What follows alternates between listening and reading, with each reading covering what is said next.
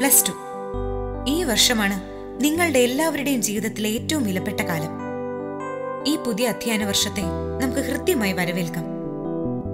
Vacation കഴിഞ്ഞുള്ള ഈ തിരിച്ചുവരവ് നിങ്ങൾക്കെല്ലാം ഒരുപാട് മാറ്റങ്ങൾ വരുത്തിയിട്ടുണ്ടാവുമെന്ന് ഞാൻ കരുതുന്നു. ഇതുവരെയും നിങ്ങൾക്കിടയിൽ ഉണ്ടായിരുന്ന സ്പർദ്ധയും വിദ്വേഷങ്ങളും പിണക്കങ്ങളും ഒക്കെ മറക്കാനും പൊറുക്കാനും സഹപാഠികളെ വിലയിരുത്താനുമുള്ള കാലമായിരുന്നു നിങ്ങൾ പിരിഞ്ഞിരുന്ന ഈ അവധിക്കാലം. നിങ്ങൾ ഇതുവരെ ചെയ്ത ചെറിയ ചെറിയ തെറ്റുകളും വലിയ വലിയ ശരികളുമൊക്കെ അനലൈസ് ചെയ്ത് പുതിയ വിദ്യാർത്ഥികളായി ഇവിടെ ആരോഗ്യകരമായ വിദ്യാലയ അന്തരീക്ഷം സൃഷ്ടിക്കാൻ മിടുക്കന്മാരും മിടുക്കികളുമായ നിങ്ങൾക്ക് കഴിയുമെന്ന് ഞാൻ പ്രതീക്ഷിക്കുന്നു. നിങ്ങൾക്ക് എല്ലാ വിജയങ്ങളും ഞാൻ ആശംസിക്കുന്നു. I welcome you all thank you teacher thank you teacher hello James you welcome എങ്ങനെയുണ്ടായിരുന്നു വെക്കേഷൻ വെക്കേഷന് ഞങ്ങൾ എല്ലാരും കൂടെ അങ്ങ് സൂര്യനിലേക്ക് പോകാനിരുന്നത്. പക്ഷെ അത് നിനക്ക് ഭയങ്കര സന്തോഷമാകുമെന്ന് ഞങ്ങൾക്ക് അറിയാമെന്നുള്ളതുകൊണ്ട് ഞങ്ങൾ ആ പ്ലാൻ അങ്ങ് മാറ്റി വെച്ചു. ഒരു വെൽക്കം പറഞ്ഞാൽ ഇങ്ങനെയാണോ അവിടെ മറുപടി പറയേണ്ടത്? പിന്നെ എങ്ങനെയാണോ വേണ്ടത്? നീ ഒന്ന് പറഞ്ഞു നോക്ക്. അപ്പൊ ശരിക്കുള്ള മറുപടി പറയാം. വളരെ മാന്യമായ മറുപടി. നന്ദന ടീച്ചർ പറഞ്ഞൊക്കെ കേട്ടതല്ലേ? ഈ ലാസ്റ്റ് ഇയർ എങ്കിലും മര്യാദയ്ക്ക് പഠിച്ച് പാസ്സായി പോവാൻ നോക്ക്. നന്ദിനി ടീച്ചർ അത് മാത്രം മാത്രമല്ലല്ലോ പറഞ്ഞത്. അവധിക്കാലം സഹപാഠികളുമായുള്ള വ്യക്തിവൈരാഗ്യങ്ങളൊക്കെ മറന്ന് പുതിയ കുട്ടിയാകാനുള്ള സമയമാണെന്നല്ലേ ടീച്ചർ പറഞ്ഞത്? അതെന്തായാലും നിന്നെ ഇവനെ ഉദ്ദേശിച്ചായിരിക്കില്ല പറഞ്ഞത്. നിങ്ങൾക്ക് ഇപ്പോഴും എന്നോട് ദേഷ്യമാണോ? ആ. മുൻപ് ചെയ്ത കാര്യങ്ങളൊക്കെ ഈ അവധിക്കാലം കഴിഞ്ഞതോടെ മറന്നൂടെ? ബെസ്റ്റ്. ജെയിംസ് ഞാൻ നിങ്ങളോട് വഴക്കിനല്ല ശ്രമിക്കുന്നത്. നിങ്ങളെപ്പറ്റി ഞാൻ ഒരുപാട് ചിന്തിച്ചു. നമുക്ക് നല്ല ഫ്രണ്ട്സ് ആയിക്കൂടെ? നല്ല ഫ്രണ്ട്സ് ആകാം. പക്ഷെ ഇങ്ങനെ ചോദിച്ചത് നീ അല്ലായിരുന്നെങ്കിൽ. ഒരു നല്ല സുഹൃത്തിനെ തിരഞ്ഞെടുക്കുന്നതിന് ചില മാനദണ്ഡങ്ങളുണ്ട്. ആ മാനദണ്ഡങ്ങൾ നീ പാലിച്ചാൽ തീർച്ചയായും നിന്നെയും ഞങ്ങൾ സുഹൃത്താക്കും. തൽക്കാലം ഇവിടെ വേക്കൻസി ഇല്ല മോളെ. വാടാ. വാ. പോട്ടെ ചേച്ചി.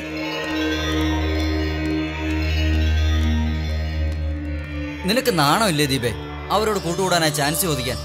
ചേ നിന്റെ വെയിറ്റ് പോയി. എടാ ശത്രുവിനോട് സൗഹൃദം സ്ഥാപിക്കുന്നതാണ് ആ ശത്രുവിനെ തകർക്കാൻ ഏറ്റവും നല്ല ഐഡിയ അതാണെടാ. ഈ ദീപാറാണിയുടെ പുതിയ തന്ത്രം. പിന്നെ നീ ഇങ്ങനെ ഒരുപാട് പുതിയ തന്ത്രങ്ങൾ ഇറക്കിയതല്ലേ കഴിഞ്ഞ വർഷം? വല്ലതും നടന്നോ? എന്നാൽ ഇനി നടക്കും. നീ കണ്ടോ?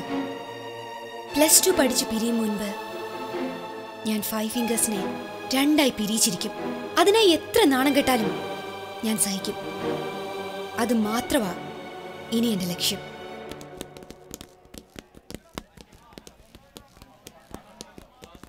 നമ്മൾ താമസിച്ച ഗോസ്റ്റ് ഹൗസിൽ ദീപെ കൊണ്ടിട്ടിരുന്നെങ്കിൽ അവളുടെ ചാട്ടം ഒന്ന് കുറഞ്ഞു കിട്ടിയേനെ.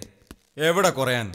ആ ഗോസ്റ്റ് ഹൗസിൽ ദീപ ചെന്ന് പെട്ടിരുന്നെങ്കിൽ അവൾ വേറൊരു ഗോസ്റ്റായി മാറിയാണ് ദൈവം ഇത് നിങ്ങൾ അതിനെക്കുറിച്ചൊന്നും പറയാതെ. ആ സംഭവത്തിന് ശേഷം വീട്ടിലെത്തി ഞാൻ രണ്ട് മൂന്ന് ദിവസം ഉറങ്ങിയിട്ടില്ല. അറിയാമോ? വല്ലാത്തൊരു എക്സ്പെരിമെന്റൽ ലൈഫായിരുന്നു അവിടെ.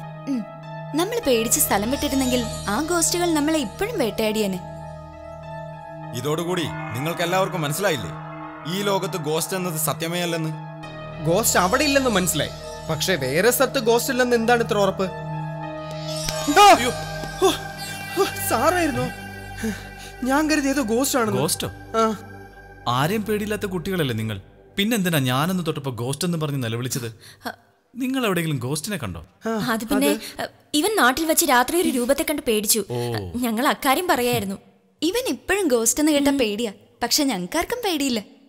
സാർ എനിക്കൊരു ഡൗട്ട് ഈ ലോകത്ത് റിയൽ ആയിട്ടും ഗോസ്റ്റുകളുണ്ടോ അതോ എല്ലാം നമ്മുടെ തോന്നലാണോ?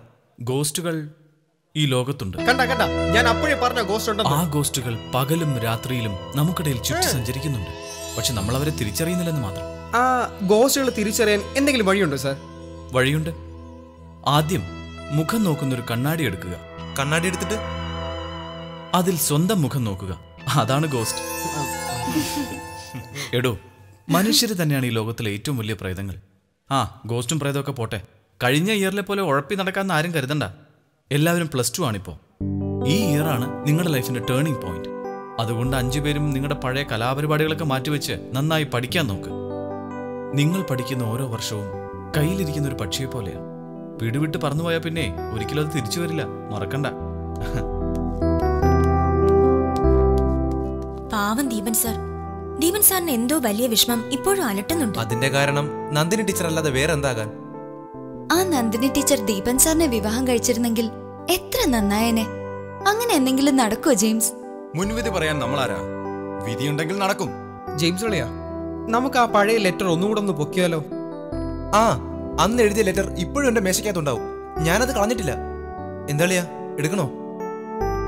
അങ്ങനെ ചെയ്ത ടീച്ചർക്ക് നമ്മളോട് എന്തെങ്കിലും ഇഷ്ടക്കേട് തോന്നിയാലോ. മാത്രമല്ല ദീപൻ സാർ എങ്ങനെ പ്രതികരിക്കുമെന്ന് നിശ്ചയമില്ല പിന്നെങ്ങനെയാ? ടീച്ചർക്കും ദീപൻ സാറിനും നമ്മളോട് വിരോധം ഉണ്ടായാലും സാരമില്ല. അവർ തമ്മിൽ പരസ്പരം ഇഷ്ടപ്പെട്ടാ മതിയായിരുന്നു. നമുക്കൊന്ന് ട്രൈ ചെയ്ത് നോക്കിയാലോ ജെയിംസ്. ട്രൈ ചെയ്തത് കൊണ്ട് അവർ തമ്മിൽ കല്യാണം നടക്കണമെന്നില്ല. പിന്നെ ഒരു സത്യം വെളിപ്പെടും. നന്ദന ടീച്ചർ എന്തുകൊണ്ട് ദീപൻ സാറിനെ ഇഷ്ടപ്പെടാതിരിക്കുന്നു എന്ന്? ആ ചോദ്യത്തിനുള്ള ഉത്തരം. അത് നമുക്ക് കിട്ടും. അത് മതി. ബാക്കി നമുക്ക് അവിടെ നിന്ന് തുടങ്ങാം. അപ്പോ നമുക്ക് ആരംഭിക്കാം. അല്ലളിയ ദീപൻ നന്ദിനി. ഓക്കെ?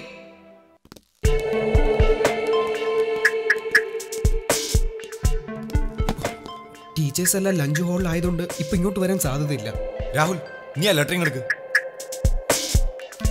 ആ നിക്ക് നിക്ക്. ഒന്ന് വായിച്ചു നോക്കട്ടെ. അയ്യേ ഇതാ ഇത് നിങ്ങൾക്ക് വായിക്കാൻ കൊള്ളില്ല. പിന്നെ നീയൊക്കെ ഞങ്ങളെ കത്ത് കാണിക്കാൻ മടിച്ചപ്പോഴേ തോന്നി. വായിക്കും മൃദു. പ്രിയതമേ നിന്നെ കണ്ട നാൾ മുതൽ നീ എന്റെ സ്വന്തം. ബ്ലാക്ക് ബോർഡ് ആകുന്ന എന്റെ മനസ്സിലെ മായാത്ത അക്ഷരങ്ങളാണ് നീ. എന്നെ ഇഷ്ടപ്പെടാൻ നീ എന്തിനു മടിക്കുന്നു? നിന്നെ എന്റെ പ്രാണനെ പോലെ ഞാൻ സ്നേഹിക്കുന്നു. എന്നിട്ടും നീ എന്തേ തിരിച്ചറിഞ്ഞില്ല? എന്റെ ഇഷ്ടത്തെ ഇനിയെങ്കിലും തട്ടി ദൂരെ എറിയരുതേ. ഒരുപാട് ഇഷ്ടത്തോടെ ദീപൻ. കൊള്ളാം കൊള്ളാം. അടിപൊളി. ഇത് വായിച്ച നന്ദിനി ടീച്ചറല്ല. ഏത് പെണ്ണും വീണുപോകും പക്ഷേ ടീച്ചറിന്റെ കൈ ദീപൻ സാറിന്റെ മുഖത്ത് വീഴുമെന്ന എന്റെ പേടി. ഇതൊരു ടെസ്റ്റ് ഡോസ് അല്ലേ നമുക്ക് നോക്കാം. ജിംസലിയാ ഇതാണെന്ന് തോന്നുന്നു നന്ദിനി ടീച്ചറുടെ സീറ്റ്. ആ സീറ്റ് തന്നെ ഈ ബുക്കിൽ വെക്കളിയാ ടീച്ചർ ഒന്ന് നോക്കൂ. ഇങ്ങോട്ട് ദേ. ഇവിടെ ഇരിക്കട്ടെ. ഹോ, അങ്ങനെ ഒന്നാം ഘട്ടം കഴിഞ്ഞു. വാ ഇനി ഇവിടെ നിൽക്കണം പോവാം.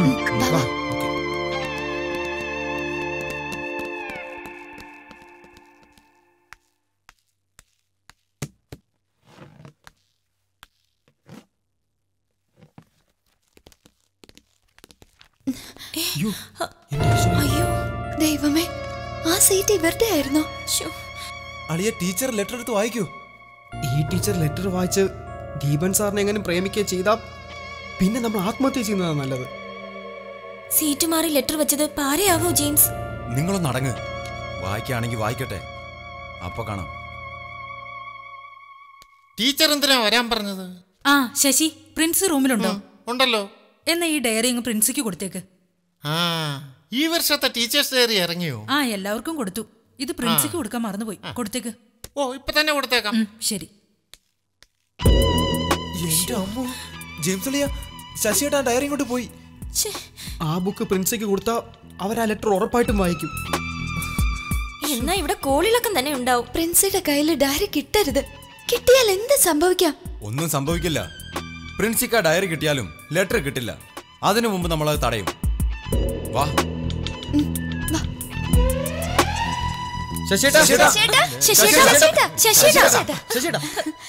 എന്താ പ്രശ്നം? പ്രശ്നം. ഒരു ചെറിയ പ്രശ്നം. ശശിയേട്ടനാ ആ ഡയറി ഒരു കാര്യം നോക്കാനാ. എന്ത് കാര്യം? കാര്യമൊക്കെ പിന്നെ പറയാം. ഡയറി എടുക്ക എടുക്ക്. ആ വേല അങ്ങ് മനസ്സിൽ വെച്ചിരുന്നാ മതി. ഈ ഡയറിയെ തൊട്ടുള്ള കളി മാത്രം വേണ്ട. ഇത് പ്രിൻസിപ്പലിനുള്ള ഡയറിയാ അയ്യേ ഈ ഡയറിയോ പ്രിൻസിക്കോ? പ്രിൻസിക്ക് എന്തിനാ ഈ ഡയറി പ്രിൻസിക്ക് എന്തിനാ ഡയറി പ്രിൻസിയോട് പോയി ചോദിക്കണം. അല്ല നിങ്ങൾക്ക് എന്താ ഒരു വെപ്രാളം? ഞങ്ങൾക്ക് എന്ത് വെപ്രാളം? ഒന്നുമില്ല. ഇത്രക്ക് ഭംഗിയുള്ളൊരു ഡയറി കണ്ടപ്പോ ചോദിച്ചു ഉള്ളൂ. ഈ ഡയറിക്ക് മാത്രം എന്താ ഇത്ര ഭംഗിയുള്ളത്? ഞാൻ നോക്കട്ടെ. ഇപ്പൊ ദേ, വല്ല പണിയും കൊണ്ട് ഇറങ്ങിയാണെങ്കിൽ ശശിയോട് കിടക്കത്തില്ല. ഞങ്ങൾ നോക്കിക്കോട്ടെ പ്ലീസ് നോക്കട്ടെ. പ്രിൻസിപ്പൽ അറിഞ്ഞ എന്നെ ശരിയാക്കും. ഓ എന്തോ ശരിയാക്കാനാ? നമുക്ക് പ്രിൻസിക്ക് വേറൊരു ഡയറി വാങ്ങിച്ചു കൊടുക്കാം. തൽക്കാലം ഈ ഡയറി അങ്ങോട്ട് കൊണ്ടുപോട്ടെ ഏ പ്ലീസ് അപ്പൊ അതാണല്ലേ കാര്യം. അതെ അതാണ് കാര്യം. ഡയറി ഇങ്ങോട്ട് താ ശശി സ്റ്റോപ്പ് എന്താ ഇവിടെ? എന്താ ഇവിടെ പ്രശ്നമെന്ന്? എന്തു പറ്റി? ഹേയ് ഒന്നുമില്ല സാർ. ഞങ്ങളൊരു തമാശക്ക്. ഇതാണോ തമാശ? എന്താ ശശി? ഇവർക്ക് ഈ ഡയറി വേണമെന്ന് പറയുന്നു. ഇത് പ്രിൻസിപ്പലിന് കൊടുക്കാൻ വേണ്ടി ദേവകി ടീച്ചർ തന്നു വിട്ടതാ. പ്രിൻസിപ്പളിന്റെ ഡയറി എന്തിനാ നിങ്ങൾക്ക്? അല്ല അത് ഈ ഡയറി ഇപ്പൊ പ്രിൻസിക്ക് കൊടുക്കണ്ട. പിന്നെ കൊടുക്കാന്നാ പറഞ്ഞത്. ഇപ്പൊ കൊടുത്ത എന്താ കുഴപ്പം? താൻ കൊണ്ടുപോയി കൊടുക്കണം. ഇത്രയും വൃത്തിയോട്ട ഒരു ഡയറി പ്രിൻസിപ്പലിന് കൊടുക്കാൻ പറ്റില്ല. ഞങ്ങൾ അതിന് സമ്മതിക്കത്തില്ല. അതെ ഇപ്പൊ ഇത് കൊടുക്കാൻ പറ്റില്ല. എന്തുകൊണ്ട് കൊടുത്തൂടാ? അത്രയ്ക്ക് വൃത്തികെട്ട ഡയറിയാണ് ഇതെങ്കിൽ എന്താണ് ഇതിന്റെ വൃത്തികേടെന്ന് അറിയണമല്ലോ? അതിങ്ങനെ തന്നെ അയ്യോ സാർ ഡയറി സാർ തുറക്കരുത്. സാർ ഈ തുറന്നു സാർ. നോക്കിയാൽ സാറിന്റെ കണ്ണ് കേടായി പോകും പഴുത്ത ചീഞ്ഞു പോവും. ആഹാ എന്നാൽ അതൊന്ന് കാണണം. അയ്യോ സാർ വേണ്ട സാർ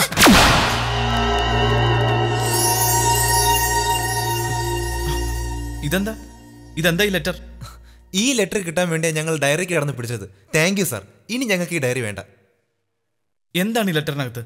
കാണിക്കാൻ കാണിക്കാൻ. രാഹുൽ ലെറ്റർ എന്റെ കൈ തരാനാ പറഞ്ഞത്. ഇങ്ങി തരാൻ. ഇവിടെ തൊ- ഏയ് നീ കൊടുക്കണ്ട. ഈ ലെറ്റർ ഞാൻ കൊടുക്കാം. ഈ ലെറ്റർ ആണല്ലോ പ്രശ്നം. ഇനി ഇത് ആരും വായിക്കണ്ട.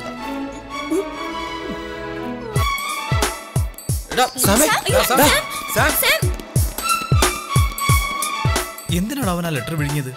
ആ ലെറ്ററിൽ എന്തോ കുഴപ്പമുണ്ടല്ലോ. സാറിന് ഇപ്പോഴും കാര്യം മനസ്സിലായില്ലയോ? സാറേ ഇത് പുതുവർഷമല്ലയോ? പ്രിൻസിപ്പലിനിട്ട് അഞ്ചു പേരും കൂടെ ആ ലെറ്ററിൽ എന്തോ പണി ഒപ്പിച്ച് ഈ ഡയറി കയറ്റി വിട്ടതാ.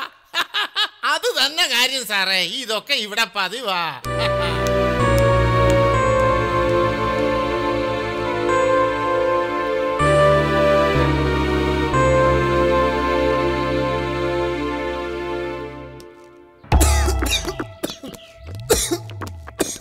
സാം സാം സാം ദാ.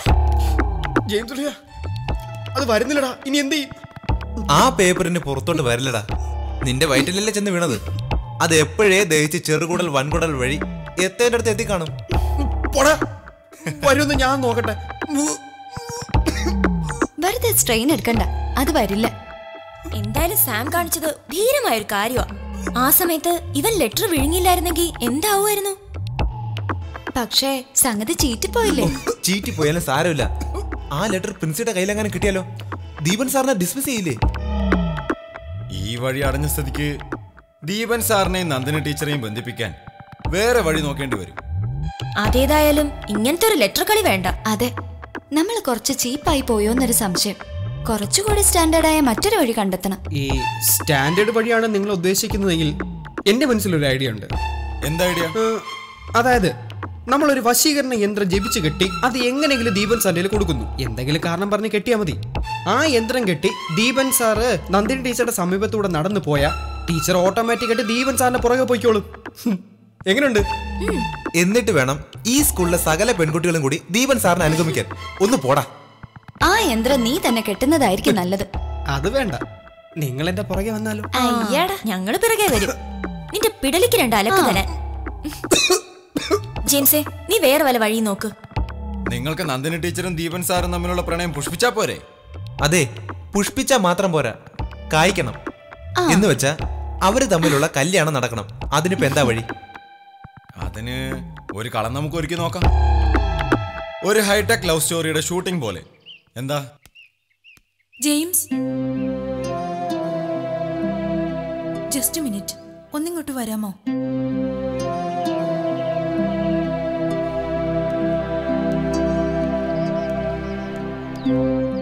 എന്താ റോസി? എനിക്ക് നിന്നോട് മാത്രമായി ഒരു കാര്യം പറയണം. എന്ത് കാര്യം? നീ ഒരു ദിവസം എന്നോട് പറഞ്ഞില്ലേ?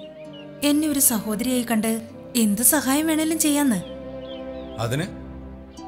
ഒരു സഹോദരൻ എന്ന നിലയിൽ എനിക്ക് നിന്റെ സഹായം വേണം. നിനക്ക് എന്ത് സഹായം വേണ്ടത്? അത് സഹായം ഇവിടെ വെച്ച് പറഞ്ഞ ശരിയാവില്ല. നാളെ രാവിലെ അരമണിക്കൂർ നേരത്തെ നീ ഇവിടെ വരണം. അപ്പോൾ ഞാൻ പറയാം. അതെന്തിനാ നാളെ രാവിലെ ആക്കുന്നത് എന്താണെങ്കിലും ഇപ്പൊ പറഞ്ഞൂടെ? പറയുന്നതിന് മുമ്പ് എനിക്കൊരാളെ കാണാനുണ്ട്. പിന്നെ നിന്റെ കൂട്ടുകാരോട് പറയണ്ട. പോട്ടെ.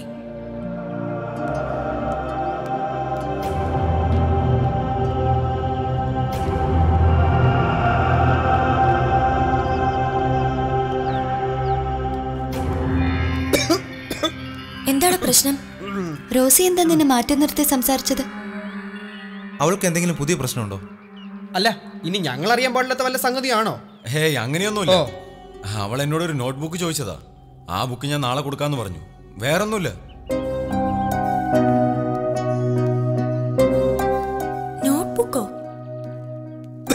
ജെയിംസിന്റെ കയ്യിൽ മാത്രമുള്ള നോട്ട്ബുക്ക് അത് ഏത് നോട്ട്ബുക്കാ? ഇനി നീ ആ നോട്ട്ബുക്കിൽ കയറി പിടിച്ച് വേണ്ടാത്ത പ്രശ്നങ്ങളൊന്നും ഉണ്ടാക്കണ്ട. റോസി നോട്ട്ബുക്ക് വാങ്ങിക്കുവോ കൊടുക്കുവോ എന്ത് വേണമെങ്കിലും ചെയ്യട്ടെ. ഏയ് ഇതൊന്നുമല്ല റോസിയുടെ മുഖം കണ്ടാൽ അറിയാം. ഇത് വേറെന്തോ പ്രശ്നം. വേറെന്തോ ഒരു പ്രശ്നം.